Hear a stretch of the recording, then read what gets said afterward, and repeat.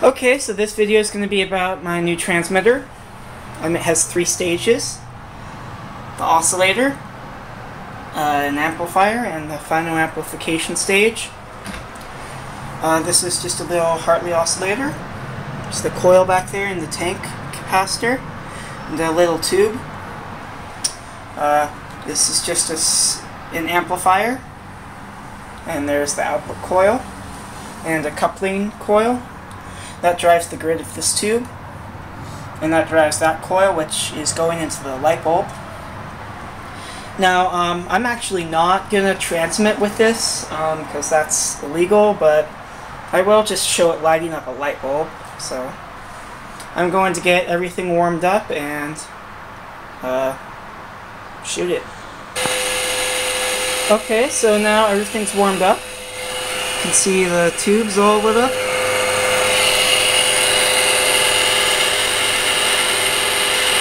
Kind of. Um, so I'm going to turn on the exciter and you can see the waveform. Now I'm going to turn on the final amplifier. You see the light bulb light up. And now I'm going to give it some modulation.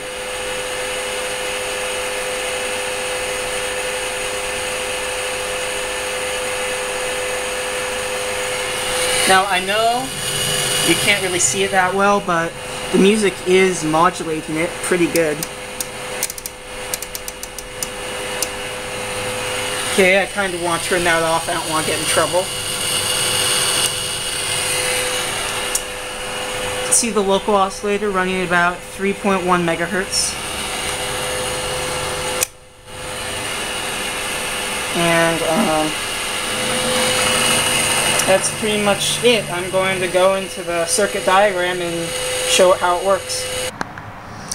Okay, this is going to be hard to do because of my shaky hands and also because there's three pages of it, but this is the schematic.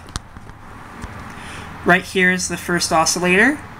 Um, it is just a, a tube and a Hartley oscillator. Oh, um, I forgot to draw it actually. There's a tap right here that goes to um, B plus. Um, I don't know, let me just draw that, I'll be back, right back. Okay, well there's just supposed to be a tap there. Um, it's a 15 turn coil and it's tapped at 5 turns. There's a 250 picofarad um, capacitor there. And a 1 megohm grid leak resistor and a 60 picofarad capacitor. And that goes through about a 90 picofarad capacitor into the into one of the first amplifiers. Um, this basically just drives the coil and um, it is modulated by the screen grid right there. So you can see this amplifier section is really simple. I mean it's just a tube with um, different connections to it. Um, See up here, just a coil and a capacitor to achieve resonance, and then a tap and an RF choke to 300 volts. And if we follow that um, screen grid, we find a 240 ohm to 0.5 ohm transformer that's going to plus 150 volts. And if we follow the 0.5 section, it goes over to the amplifier, the modulator, and um, it is just basically a tube amp with um, right here's the audio input. It's um about uh, it's I changed it from high impedance to low impedance by adding a transformer. It is a 200 ohms to 0.5 ohms, and um, Normally if I want to connect uh, something like a phone to it, I put an 8 ohm resistor in series with that. Then there's a 5k ohm volume control and a 0.5 microfarad capacitor going into the tube and then a 500k ohm resistor from the grid to ground to negatively bias it. Then there's um, a 1k ohm uh, cathode resistor and a 10 microfarad bypass capacitor that feeds over. Oh, also, there's a 100 k ohm uh, resistor on the plate to B plus. Then there's a 0.5 microfarad capacitor into the second tube. Um, and this also has a 500k resistor from the grid to ground. And this one has a 100 ohm cathode resistor and a 10 microfarad bypass. And then it has a 9 k ohm resistor going from the screen grid to B+. And then a 120 ohm to 0.5 ohm transformer. And that feeds the screen grid of this tube. This one has 190 volts of B+. And then if we go all the way over here to the out part, out, output part, we see just some um, capacitors on the input. And then um, the output tube. And that basically just drives the coil.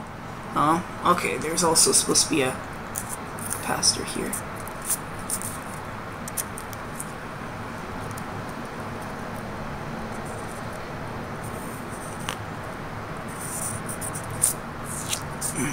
This is also a one a 100 picofarad capacitor there. Then there's another RF choke, and right here is the power supply for that tube, which is uh, 1 kilovolts. And then that goes to the light bulb. That is. Uh, okay, let's let's take a look at all of the power supplies and stuff. Here's the power supply for this tube. It is a 24 volt AC transformer feeding a microwave oven transformer. And that puts out about 1000 volts for some weird reason. Then that goes into a rectifier, into a capacitor, then through this um, choke right here, and through another capacitor, and then through the primary of an ignition coil, and then to one end of the coil. The other end of this is grounded to the tube, now this is something that I didn't draw in the schematic, and this was a negative bias supply for this tube, but I found that it really doesn't run well with it, so I just have it shorted out.